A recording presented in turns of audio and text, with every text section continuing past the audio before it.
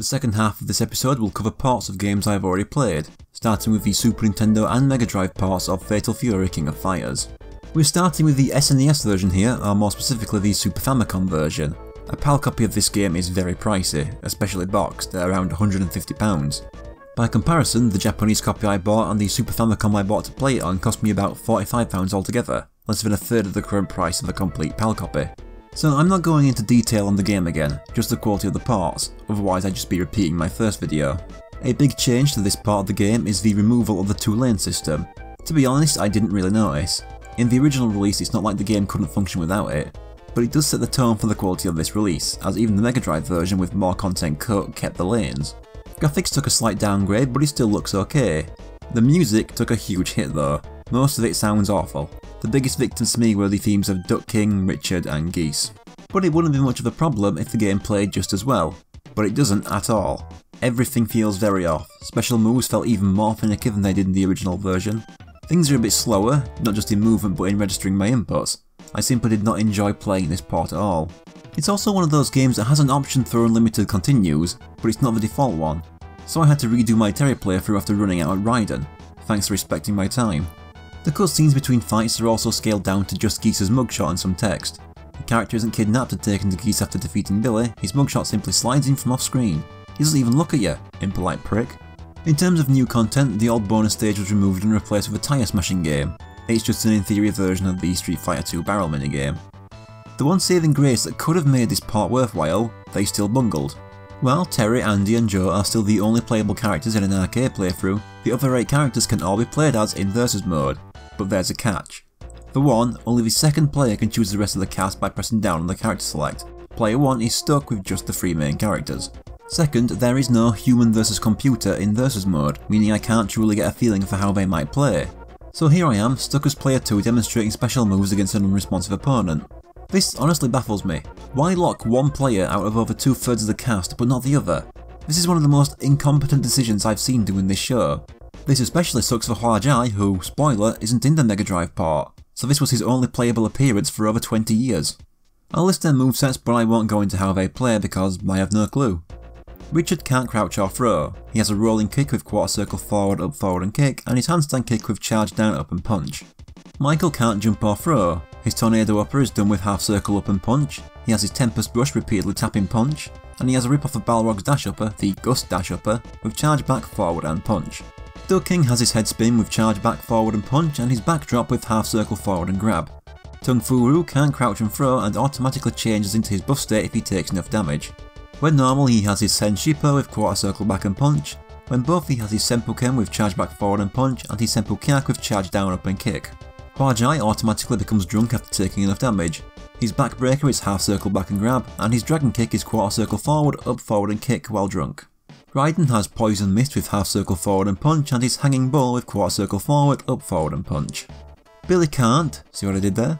Crouch or throw. His Senpukon is charge back forward and punch and his Shuten Renpakon is done by repeatedly tapping punch. Finally, Geese has his Reppuken with half circle forward and punch and the choke with quarter circle forward, up forward and punch. Once again, total letdown. Now just to beat the game again.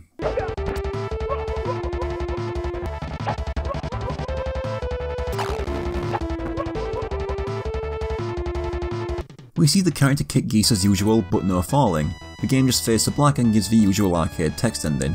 All I can say after playing this part is that I'm so glad I didn't fork out the money for a PAL copy. Yeah, I spent the extra £30 on Super Famicom, but that also opens up my options in what games I can cover for this show. There was no reason for this part to be so shoddy.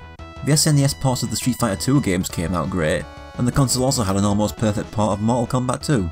It could have handled this game, Although as crappy as this is, it's still not the worst fighting game on the system so far. I'd still play it over the first Dragon Ball Z Super Butoden.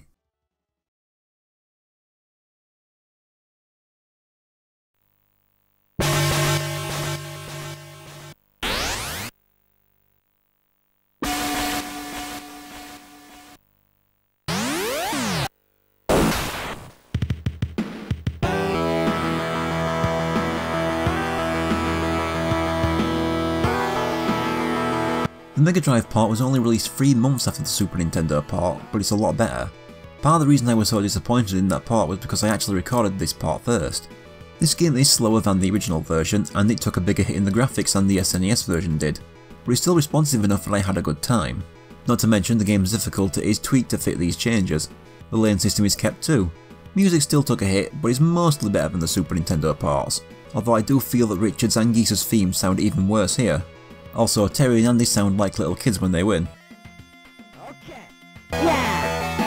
The biggest downside is that Hwa Jai and Billy Khan are missing, making Raiden the reigning KOF champion and the final obstacle before Geese. Hwa Jai does take Richard's spot in the background of Duck King stage, but Billy is nowhere to be seen at all. This does not mean a shorter arcade playthrough though, as the other two characters you didn't choose will simply challenge you a few fights in. Speaking of arcade, even the cutscenes are preserved, so the Super Nintendo port really had no excuse. They even fixed the typo in Raiden's name. But the best part is that both players can now choose every character, and there's human versus AI in the versus mode.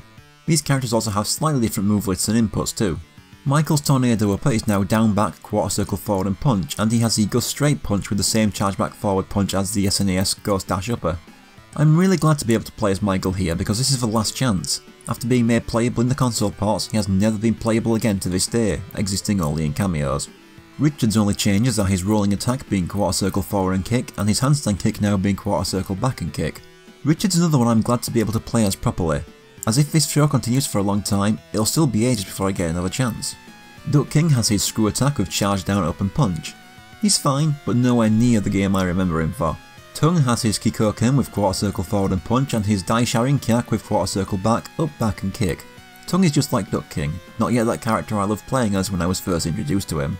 Although the fact I've brought this up with both of those probably gives away the game I'm talking about. Raiden's Poison Mist is now charged back forward and punch, and his Hanging Bull is now quarter circle back and punch. Not much to say about Raiden, but I'll have more chances to talk about him in future. Just like Geese, I have to hold left and press start. It's cool to play as him, but it's not like I get his boss brokenness. He doesn't have his counter for one thing. Plus we'll be seeing plenty of Geese in the future. I would like to point out his Reppuken voice clip though. It's something. With all that covered, time to beat the game again.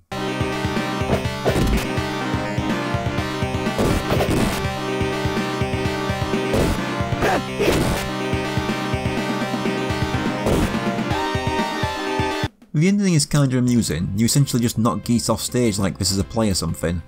Rather than talking about Geese's death, we get a little monologue from the character you beat the game as. This isn't a perfect part, but I will be ranking it in the same spot as the original. We do lose things, but the addition of the playable bosses and not putting arbitrary roadblocks on it gives this part some value. I see this part the same way I see the Super Nintendo part of Mortal Kombat 1.